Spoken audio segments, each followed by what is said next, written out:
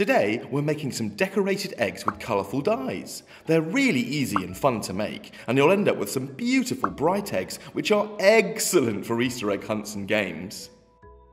People have been decorating eggs for thousands of years. Ancient Egyptians decorated ostrich eggs, and early Christians in Mesopotamia dyed eggs to mark Easter. In 1290, King Edward I paid for 450 eggs to be coloured or covered in gold leaf and given to his entourage. And Henry VIII received one in a silver case as a present from the Pope. And from the 18th century, children would decorate their own eggs at Easter or get them as presents. These were called pace eggs, and they're what we'll be making today.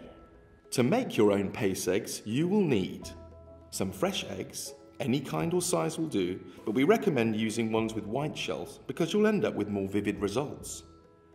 Food colouring, we're using yellow, red, green and blue. White wine vinegar. A lightly coloured wax crayon. Vegetable oil. Disposable gloves. And a spoon. If your eggs have stamps on them, you can remove this by gently scrubbing them with a little white wine vinegar. We've already hard boiled these ones for 10 to 12 minutes, but the timing will depend on the size or variety of your eggs. Start by drawing on the shell lightly with a wax crayon. When this egg is submerged in the dye, it will leave an inscription on a coloured background. Next, it's time to make some dye for the eggs. Start with a tablespoon of white wine vinegar, then add around 250 ml of cold water. Add your food colouring and give it a good mix.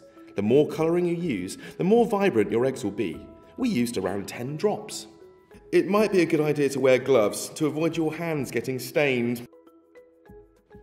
Gently lower your eggs into the dye bath and leave submerged for around 10 minutes until the eggs are fully dyed.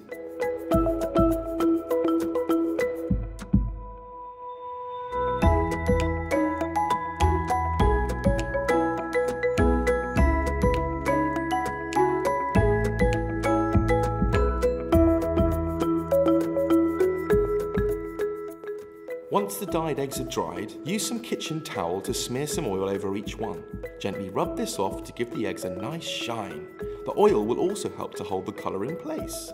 You can store your finished eggs in the fridge until required. And there you go, brightly decorated eggs for your Easter celebrations. For a fun filled day out this Easter, find an Easter adventure quest near you and hunt for chocolate rewards in England's most spectacular historic places.